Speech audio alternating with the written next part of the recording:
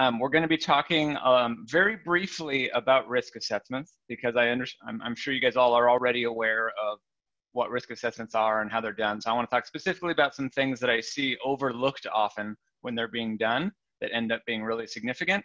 And then we're going to dive into safeguarding machinery. And again, I'm not going to talk about the entire world of machine safeguards. We're going to dive into kind of the everyday production machinery and tools you see in almost every facility, whether it's a hospital maintenance shop or an actual fabrication facility. Um, and so we'll dive into those, even though most of the concepts are applicable to all machinery. For those of you that don't know me, I've met Joe and I think maybe a couple others of you at uh, some trade shows before. Um, I'm the founder and CEO of MAKESafe Tools. We make uh, a, a, safety device that is an easy retrofit to power tools and other equipment. Um, but I also have a pretty diverse background. So I'm on the safety side. I'm also an engineer. Um, I've also been in education. I've worked with lots of different agencies. We have pending um, petitions with Cal/OSHA, and so we are kind of in the weeds of things, and it gives us, I think, an interesting perspective. And I'm also like a hands-on person, right? Like, I, I don't know if I would hire me for professional production, but I'm a you know pretty decent machinist and carpenter and all those things. So I've worked with tools my whole life. And I, I like to talk about kind of why why I do these free webinars, right? So like you'll notice, like I talk about product a very tiny bit. Like this is really mostly um, education, and it's for a couple of reasons. One, when I first got in this industry, I started looking at the data, right? What data is available about how injuries happen, when they happen, and I the things that disturbed me were not the magnitude of injuries, even though those are disturbing, but that um, if we just look at machinery, machinery, machinery related injuries that resulted in missed days from work, not counting fatalities, there's about 40,000 a year. And the concerning part is that's been exactly the same for 10 years. There's not a reduction, there's not a downward trend. And that was a little bit concerning, especially when I started, you know, learning that, oh, and then as we know, machine guarding um, has been one of the top 10 uh, most common citations since they started tracking that in 2002. And so it's like, okay, we know what causes the injuries. We know how to implement those safeguards, and people still don't do it. And so that's kind of frustration is what led me into this. Um, and then I also started seeing things that um, in the industry that were troubling to me. So I'm going to kind of go through a metaphor really quick or a thought experiment. So um, imagine for a moment that you are, let's say, taking care of an elderly parent. And you know a doctor says oh you know your elderly parent has um, heart disease so i'm going to prescribe you this medication. You know they're taking that medication for a while and things aren't going well. And and you find out that well actually the doctor prescribed a medication that's not actually for heart disease right? It's for something else. That might be a little frustrating as someone who expected that an fda regulated drug from a professional is not being used for its intended purpose right? then imagine for a moment that that drug you find out not only is not intended for that purpose, but says on the label, not for use with heart disease and elderly patients, right? You would be pretty pissed off um, if someone was using that and putting a loved one's safety at risk. But what we're going to find out a little later in the presentation is that's exactly what's happening with safety products right now. Products are being sold for a safety purpose that are explicitly not for that purpose um, and that causes additional hazards in industry um, and injuries, and that's part of our petition, which I'll talk about a little bit. So um, again, the things I'm going to be talking about conceptually cover all sorts of machinery, um, but we are going to be focusing kind of on this power tools and machine tools area, um, just because it gives us a little bit of focus for today. Now, um, risk assessments. Everyone has their own flavor. Um, I'm sure you guys probably have your own even in-house risk assessments. You might even be recommending them to your clients. But um, for this, just quick description, I'm going to be using UL's risk assessment. I don't know if you guys know UL is kind of also become a safety company now, like outside of their normal role. Um, and they actually have a decent webinar. I've got a link down there. Um, a little bit technical, but um, good to forward to clients if, if you're interested. But uh, when we're looking at a risk assessment like this, I just want to point out a few things that I see overlooked as people do these, you know, when they do them, which they don't all, always. One is this kind of like part at the top, right? And it's so easy to think like, oh, it's like middle school and I'm taking a quiz and I'm going to put my name at the top and be done with it. but this is something that is, I would argue, sometimes the most important part of a risk assessment that never gets any attention. Um, and so there's a few things. One, um, figuring out what the piece of machinery is. That sounds so obvious, I know. I was giving a workshop recently um, at the uh, UCSD OSHA Training Center, and I was working with um, uh, a lady that's been in this industry for a long time, and she works at, at a Navy base, and her fundamental job is helping with safety in machine shops. And uh, we were, you know, I brought in equipment. We were doing um, kind of like mock risk assessments and was really kind of, she was not understanding and I was having trouble figuring out why. And I, I finally realized why. She was applying the, um, trying to apply the bandsaw requirements to a bench grinder. And so this was someone, you know, their role is safety, but they didn't, they weren't even sure what piece of equipment it was. Um, and that's something that's not as uncommon as you'd think. And so this is where kind of knowing what that equipment is and also having people on the team that have that diversity, right? You have someone that knows the safety, also somebody that knows the machinery and the use cases and how it gets used in that business. Again, sounds obvious, but I find a lot of the time this is one person doing a run through that doesn't involve other people. Um, and so this is also as insurance people, if you're looking through binders, is a good thing to check. You can like, oh, is it the same name on the top of every risk assessment with no one else mentioned? Hmm, that's interesting. Now, uh, other piece just is location. So again, people think that's trivial. They'll say building five, right? That doesn't mean anything. Um, and this was kind of uh, um, a big deal for me when, when I was visiting a client, uh, an aerospace um, customer. And um, there, there, was a few things going on with them, but one of them was they had a, um, we walk into their facility through the loading dock and I say, oh, you know, that, that's a huge disc sander. What do you guys use that for? And he said, oh, we haven't used that thing in years. Said, oh, okay, keep walking through. Um, and on our, my way out, exiting the building, I saw um, somebody using the disc sander in a way they shouldn't have been, but they're also using it in the thoroughfare of the loading dock. So people are walking right behind them, carrying boxes, limited visibility, and that is a very significant part of that hazard there because someone can get bumped into it, and that location is a big part of that risk assessment. Um, and it's one of those things, again, where really being specific um, can be really helpful. Um, then, of course, the job hazard analysis. This we're going to go into this uh, some specific hazards that we we see overlooked often, um, but this is again where that other person on the team matters. So, um, depending on the workplace, their uh, communication between safety side and production side may be great, maybe non-existent. It's kind of all over the board. So, really making sure that um, whoever's conducting the risk assessment is aware of the things being done um, as well as, excuse me, as well as the kind of related hazards.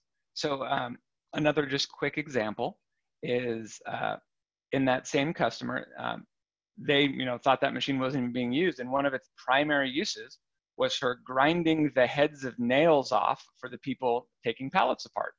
Um, not what you should be using a disc sander for, right? But nobody knew that until they started asking around. So again, it's one of those things where it seems obvious, but it's one of the things I, I often see a, a gap in. Um, and since you guys are more technical, I'm not going to dive into um, this part, but just this kind of represents the the transition from, you know, avoiding all injury to numerical risk profiles. And I know not everybody agrees with that kind of conceptually, but that is where all the standards uh, have gone. Um, and so uh, the part of this I will call out is that when, when we're doing these assessments and um, putting in the numbers, doing the calculation. There are a number of different standards you can use. I'd have to look up which one UL uses. But the thing I've seen um, OSHA inspectors get stuck on is they'll see something like this and they'll be like, okay, I see a three, an eight, a five, a one. What's your risk threshold as a business? And people say, whoa, whoa, whoa what do you mean? Um, and that what OSHA often expects is that you actually have a number that's written down somewhere that says, hey, you know, anytime we see over a seven, we as a business are going to mitigate and try and bring it below a seven, right? And obviously, if you chose a 17, people are, that's not going to work. But um, businesses are able to kind of set their threshold of what is a quote unquote acceptable risk. Conceptually, you might disagree with that, but that's what I've seen in practice. Um, and then lastly, we all know about hierarchy of controls. Um, but the thing that I, I often see missed is people don't actually inspect and follow up on safeguards. So whether it's something that's being done in-house, right? You've recognized a bunch of hazards, you've recommended some mitigations for them, and no one actually checked. Did the safety professionals request at the very beginning that, you know, went through purchasing, turned into a quote, went out to vendors, got work done, came back, got installed by someone, is it still what they expected? Does it actually reduce the risk? And are you there signing off as the safety professional saying it did? Because if you don't do that, the entire rest of the process is useless from a kind of a liability perspective because no one actually confirmed that any of it worked. Um, and as you kind of dig into complexity on these safeguard systems, the um, it is a surprising amount of um, of like if this then that checks, especially if you're in the functional safety realm. Um, so again, one of those things where you, you want to make sure things are kind of getting checked off at the end. Um, and of course, then part of that is saying, yes, and now the, there is no longer a hazard or the hazard is significantly reduced. So that was just a fast forward through a couple things of risk assessments. What we're going to be spending most of today on is um, a few things I see overlooked on the hazard analysis side, the more practical side, and then how to kind of select these mitigations and a few things I've seen. So pausing there for a sec, did um, um, anyone see anything, have any questions? Is this new? Is this all kind of stuff you already know? There was one question in the chat, I think. Oh, okay. Um, um, so good question about the, the number of machines and employees working on machinery. Um, I'll, I'll, I'll have to go double check that to see if there is a correlation. Um, if memory serves, I, uh, I, we also have the per thousand workers statistics, and that is the same kind of flat line, but I need to go double check that, um, and I can follow up with you on that. Um, so uh, for this kind of hazardous analysis side, right, you can call it a job hazard analysis, you can call it a number of different things, but really it's the, um, when you're using a certain piece of machinery, like what are the things that um, not only that can go wrong, but what are the um, things that represent a hazard to an operator or people nearby when um, things do eventually go wrong. So this, again, getting to that data. So um, I will get back to you guys on the other one with my follow-up email, but just looking at kind of this, this data trend over time. And this, again, is not representing the scrapes and lacerations that people band-aid and like it's not representing any of that, right? This is just the um, like rep reported miswork kind of injuries, and it's not fatalities. Um, so just for some perspective, and, and, when we think about this, that that um, by population, if you just think about Los Angeles, that means 1,100 injuries a year in just LA. Like that is mind blowing. Um, and that's every single year. And this is where uh, I think this might be new for people. So we dig a lot into um, when injuries happen and on what kinds of machinery. So when you look at the kind of profile of when injuries happen, um, they, they, break it down, and this is all from the IIF, the Injury, Illness, and Fatality Database. It's published by the Bureau of Labor Statistics. And they um, when you look at this, you see grinding and polishing at the top. And so if you ask most people what the kind of number one um, cause of injury would be, most would say presses, right? And presses are definitely on here. They're a huge part. But right next to that is grinding and polishing. And grinding and polishing, for whatever reason, whether you're talking about buffers or bench grinders or surface grinders, those tend to be seen as, you know, not super hazardous machines. That's not someone that's that's not a machine that people are super cautious around. Um, and part of that um, is because, um, at least on the, the grinder side, they tend to be a little less expensive, and people, for some reason, associate that with less risk. Um, but it's it this kind of stood out to us. It wasn't quite what we expected, and of course, it's government data, so there are big holes, and we don't. There's a lot of unreported things. Um, but we would assume that that is across the spectrum um, relatively evenly. Um, and so the other things we see in there are kind of the drills, mills, um, planers, things like that, that again, you like, you know they're hazardous, but you wouldn't expect them to be higher on the list. Um, and I think this is interesting because we tend to associate high risk with large machinery. And when we think about the grinders and the sanders, like as the small stuff, we don't necessarily spend the same amount doing safety on that little stuff. So if we had better data, right? Now this is never granular enough to do this kind of analysis, but if we were to compare the kinds of machinery injuries happen on to the amount of money spent on safeguards for machinery, my guess is those would not overlap well and that there um, is this huge world of smaller machines that have either zero safeguards um, or very few. And so that's an interesting, especially from the insurance perspective, kind of an interesting disconnect of where um, spend is going versus where injuries are happening. And then that gets even more kind of convoluted when we think about when are those injuries happening.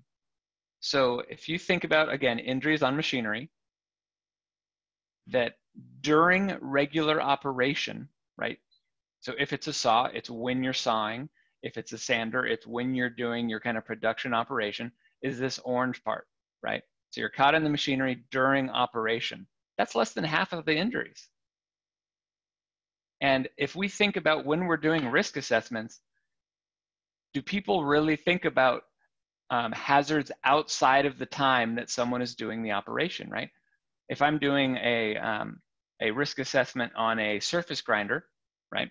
Obviously, they're going to be doing, most people would include that, you know, they're moving the table back and forth, all those parts. But less people would include the, we're setting up the work, we're putting things on the magnetic chuck, we're, um, you know, owning, honing the wheel, we're doing all those other parts. And what we find is that between maintenance and kind of these other possibilities, that's more than half of injuries. And so when we're doing our risk assessments, that should be half or more of our consideration, um, which is not what we're seeing. And um, when we start um, peeling those things apart, so everything I've shown you so far is um, like formal data, right? Here we're getting into a little more inference because what we do is we we see the formal data statistics, but we've read through hundreds and hundreds of OSHA incident reports, right? And they have varying levels of specificity. But from that, we've seen these kind of major categories emerging as things that are causing those kind of other injuries, right? That kind of other 50%. And so obviously lockout, tagout, that's not a surprise to anybody. Um, accidental restart, which is very related to um, lockout tagout.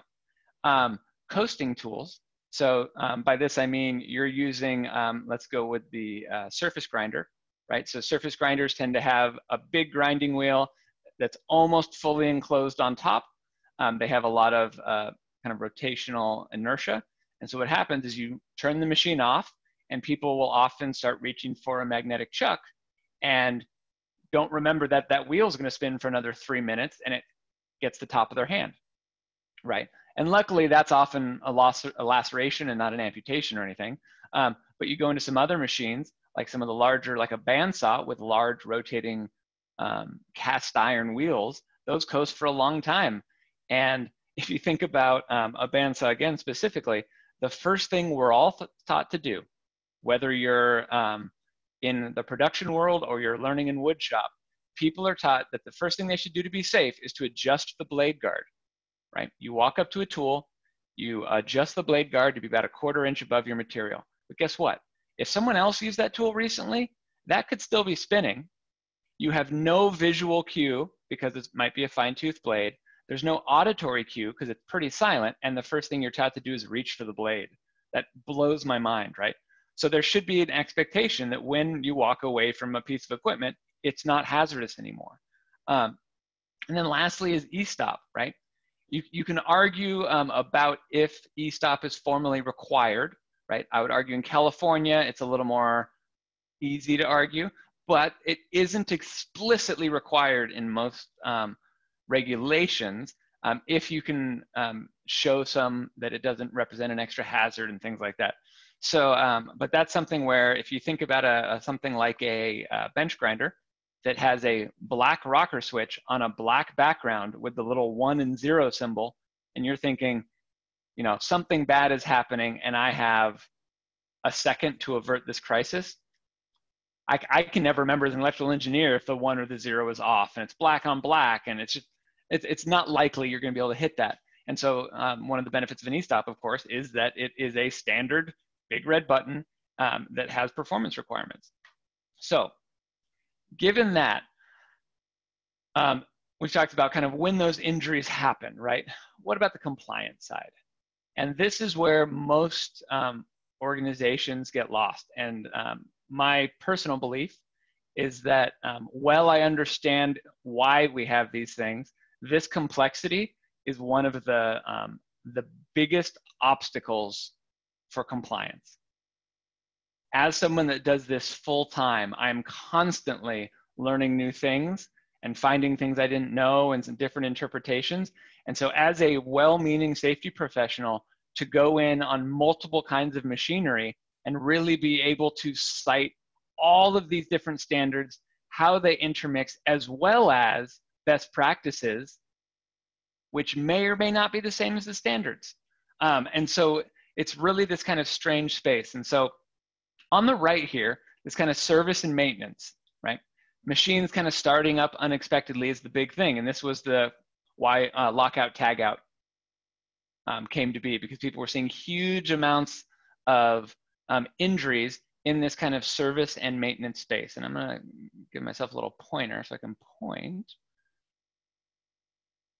Here we go. Um, so yeah, this side over here is um, service and maintenance lockout tagout. We're not gonna dig into that. I think there's a lot of literature on that already. Then on this side is kind of this normal machine guarding requirement. Everything that we would normally expect from um, the machine guarding standards with this one funky little minor servicing exception, which is uh, exception to lockout tagout and could be its own presentation. Um, but where we're really going to kind of focus today is in this middle area. So we have um, service and maintenance, which is planned. We have normal production, which is planned. We know what's going to happen. And then we have all the Murphy's Law, right? Whether someone's making a mistake or there's a defect in the material or power is lost or you trip a breaker. And this is where um, that kind of other 50% is often happening, right? It's not the everyday thing. It's not maintenance. It's the, we don't really have this area defined well section. Um, and a lot of this is explicitly covered by machine guarding, though not often implemented. And then we also have nationally recognized test labs, um, which we'll be talking about a little bit more later, who should be kind of making sure that equipment can operate as it's designed in this space.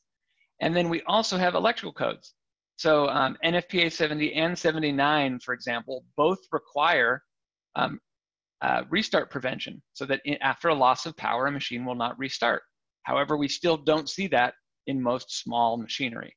Um, and so it's, it's, it's one of those things where people get lost in the noise, but we're gonna just focus a little bit on this area right now. So we know about the, the hierarchy of controls. Um, we know uh, OSHA has general requirements. I'm sure you guys are familiar with these.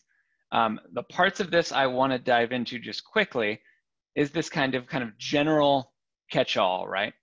Basically, we're going to protect people from everything on all machines in every way, right? And so this can be the catch-all for citations um, when someone, when an inspector knows something like was hazardous but can't quite put their finger on why, they'll often cite these standards. And a couple of things that are interesting in there. One is the mention of during the operating cycle. And so in talking with a few inspectors, this, uh, they say, is very intentional to cover those kind of non-normal use times, right? So we're not just protecting the one operator at the time that they are operating the saw, we're also worried about the receptionist who walks into the shop and taps you on the shoulder wearing maybe a, a, a loose shawl to tell you that you have a phone call, right? Like we need to be thinking about the whole picture Um, so that's all, all the other employees as well as this whole operating cycle. Um, and so it sounds semantic, but it is an intentional inclusion of these other times that are during an operation. Excuse me. Like I have here, like when you're setting up for an operation, when you're cleaning up and shutting down after an operation, also those kind of when things go awry, which they do. Um, also in after power loss and emergencies. So, right, these, these parts are all regulated. These are a little bit more gray. And so OSHA does have the right in their um, regulation to say, um, you know, these are things you should have been watching out for. And this isn't even talking about if we go into machine specific standards and um, some of the ANSI machine specific standards, which call out even more um, for every machine.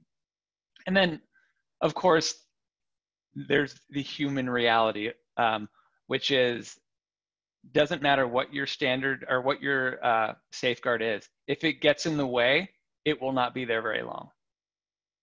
I hear day after day after day that, oh yeah, we you know we spent uh, $500,000 outfitting our shop with all these custom guards, and two months later, you know, oh one of the panels is gone. A month after that, oh, a fuse blew, so they unplugged that thing. And then before you know it, you're in this gray area again, which um, some could argue is even worse than where you started because now you're somewhere in between compliance and non-compliance, and nobody knows what to expect. Um, and then, of course, we have to, there has to be a, a, company making money, or none of us are employed. Um, and so this is something that is kind of the founding principle of, of my company, is how do we make things that that perform like they should as a safeguard, that um, don't get in the way and maybe even improve the actual day-to-day process for an operator um, and aren't crazy expensive. Excuse me. so how do we mitigate against these things, right? So I talked about a few major things. We talked about, for example, the anti-restart. We talked about um, braking. We talked about e-stop. So let's focus on those um, just for a sec lockout tagout. Um, I think they're going to be better resources than me for this, and so I'm not going to dive into this. Um, I assume you guys have experts on this in-house. Um, obviously, an important part. I would um, also check out that minor servicing exception. Um, there are lots of articles on it. We're not going to dig into it here. Braking. so we talked about coasting, right? Tools coast. Now, there are a number of ways you can mitigate against this. Some equipment, like a bandsaw or a lathe, um, will have a mechanical brake built in, right? Like this bandsaw, right? You have a pedal that's actually electrically interlocked, so it turns off the machine when you press it.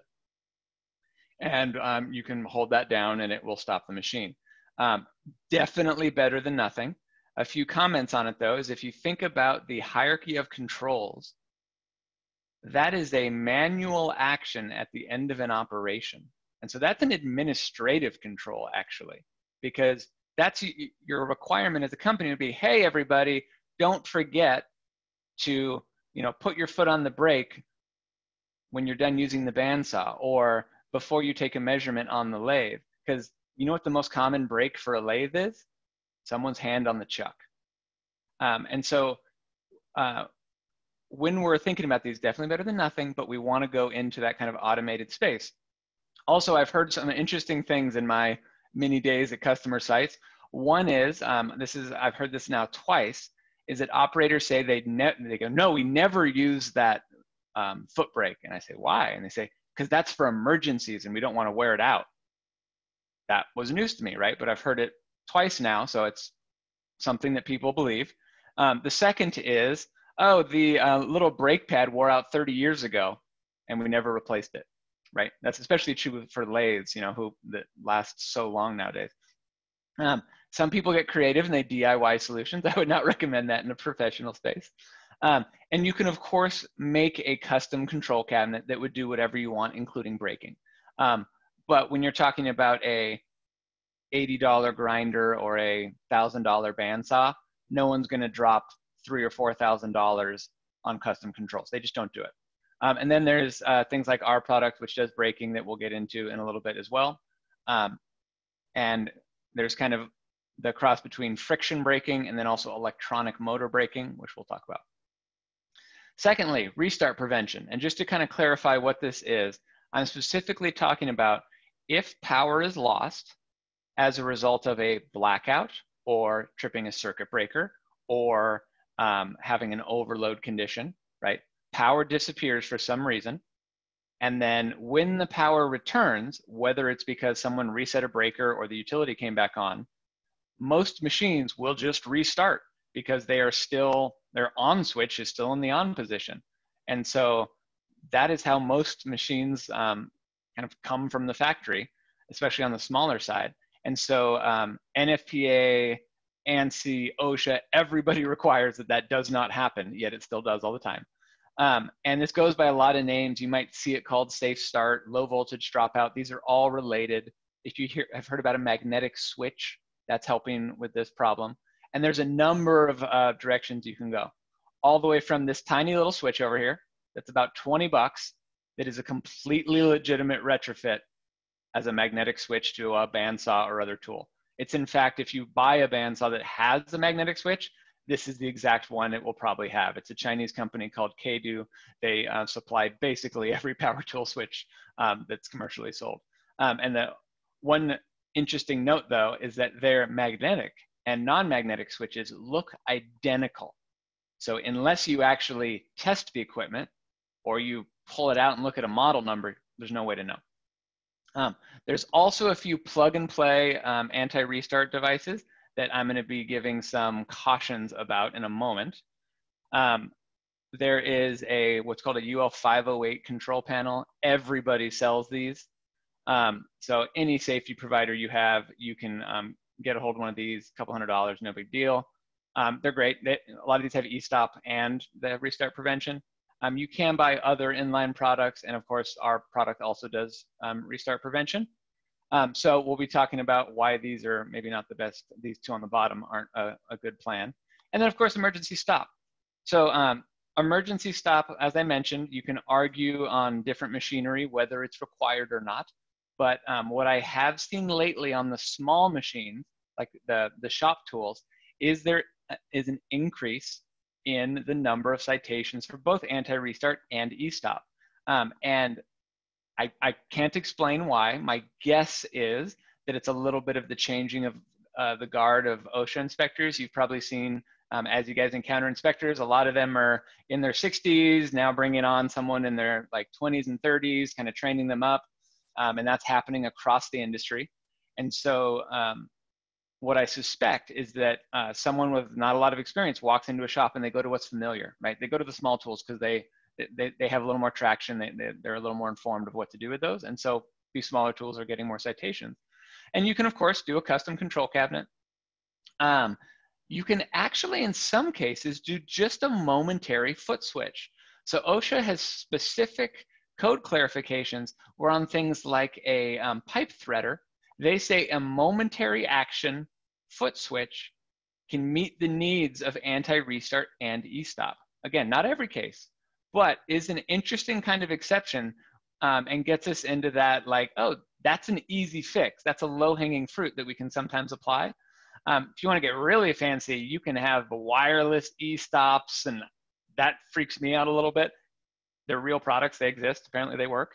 Um, and again, you can get into these uh, control panels. And what I often recommend with e-stops is depending on the um, actual piece of machinery, you can have more than one. And it's normally really doesn't cost much different.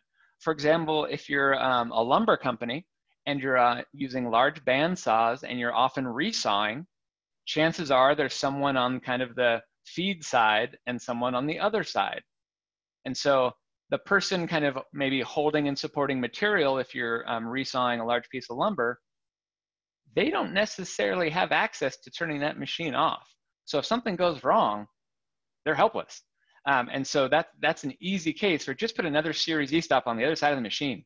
Probably cost you $50 and you, you um, significantly reduce um, kind of the, the chance of a hazard getting really bad. And then uh, again, our product um, also um, does E-stop. Now, um, when you're doing those mitigations, right, let's say you're like you're at the point where you say hey i'm you know i'm ready to start shopping now right we did our risk assessment and um, it's time to, to figure out what we're going to buy. I'm going to tell a quick story. Um, so I have a, uh, another aerospace fastener company um, that's a customer. They came to me because they had realized that they, um, they have grinders at each of their CNC operator stations that they use for um, sharpening tooling. And I was a little surprised that they, they were um, using like high-speed steel tooling on some of these CNC machines, but um, so they have 70 grinders and they realized that they needed anti-restart prevention. So they bought a commercially available UL listed um, anti-restart device. And they were doing something kind of amazing, which everyone should do, but very few do, which is um, looking through and testing their safety equipment every month, right? And so in that testing, they realized that between one and three of these brand new devices were failing every month. So just a quick visualization of what that looks like. Every month, a couple more are no longer protected. And with this particular failure, there was no other evidence. Only in testing it did they realize that it had failed. Um, it had failed in the closed position, um, meaning that just the tool worked normally, but if there had been a restart, it wouldn't have worked. Um, and so that is terrifying. Um, and that um, I started looking into. And like any good engineer, I took one apart and started kind of going through the things of like, why would that happen? This, and so first of all, I look at electrical ratings, right? And so one of the first steps always is seeing if like, does, is it technically um, going to work? So, uh, um, and in this one, I also looked for the uh, the test lab rating. So uh, this one has um, it's uh, has a relay inside it, the primary switching part, right, which is UL um, recognized, CSA and TUV recognized. The product itself was UL listed, okay? So couldn't be that. Um, it's rated for the right voltage, that's fine.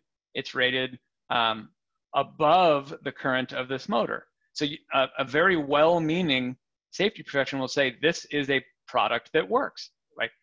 This looks like it would work with my machine. And if you look at the marketing for these products, they're covered in pictures of bandsaws and table saws and all that kind of stuff. But it doesn't work, and there's a reason why. Electrically, um, motors as a load are notoriously um, kind of difficult loads. They store energy in a magnetic field, and if any of you remember doing this little experiment on the right when you were a kid, I don't know if you remember, but just that little coil you made to make an electromagnet, every time you touch it to the battery, it sparks. Now in real life, every time you turn off a motor, it's also going to spark. And so inside that relay, there will be an arc like that, which is basically a welding arc every time you break the connection of a motor. And if a relay is not designed to handle that, it won't. It'll destroy it, sometimes in a single operation. Um, and so um, that is why things exist to, um, to check that relays will be able to handle uh, motor loads. But if we go back to that device, I said it was UL listed. So like, why does that work? And here's the catch. This, that device, and there's others like it, it's not the only one, is UL listed as a quote, appliance control. So it was tested in a category that is meant for household appliances such as portable lights and audio video equipment and actually specifically says not intended for controlling motor operated appliances. So this is going back to that kind of prescription drug example I gave earlier. Here is a product being clearly sold as a safety device for industrial equipment that isn't even um, recommended for a blender, right? So that blew my mind and made me um, very angry. Uh, and what it should be um, regulated under is what's called UL 508. And this is, there's other standards now too that are um, coming out, but um, industrial control equipment is specifically um, tested to work with motors in an industrial environment. And so just as a quick comparison, the relay, the, the primary switching device, these two um, relays go into two products that both have a 15 amp rating, right? And this is to scale. So you can see how just like they're beefier, they're built to handle these loads. I mean, so that's why that device was failing. I mean, we're actually filing complaints with UL and all sorts of stuff. So hopefully that'll get better. But this is something we see actually quite often. And so the kind of moral of this is when you're looking at specifications, obviously you want to look at um, is it listed by a test lab because that is an OSHA requirement. All products installed in a workplace that plug in need to be approved by basically an independent third party, which normally means a test lab. Um, and you want to make sure that it's approved for that purpose, um, which is super important. So we've talked about a lot of things. We're kind of wrapping up now. Um, we've talked about the um, e-stops, accidental restart, and um, braking. And so I want to give just kind of a um, this little graph where on the x-axis is cost, um, vertical axis is kind of features. So all the way down at the bottom here, if you're comfortable rewiring something um, or have people that can, you have a UL 508, li 508 listed switch that can um, prevent accidental restarts for $20, right? Take someone five minutes to install it. That is low hanging fruit. There's no reason for that not to be on every single machine in a workplace. Now, that doesn't cover all standards, but again, it's low hanging fruit. We know that could prevent injuries. That should be everywhere. Um, but if you're not comfortable kind of doing that or people don't want to uh, be modifying machines, you can go up a little bit and get some approved um, anti-restart devices. Notice that we're skipping the ones that, that um, destroy themselves. Um, you can also, as I mentioned, do a foot switch, right? Which you'll have to integrate with a little bit of other controls, but in some uh, cases can count as anti-restart and e-stop. You can also go up to one of those UL 508A control boxes. Again, we're in the maybe $400, $500 range now. Um, and these are available from everybody. They're all over the internet. Um, and they're totally legit. Nothing wrong with them. Some you wire yourself, some you literally just plug in.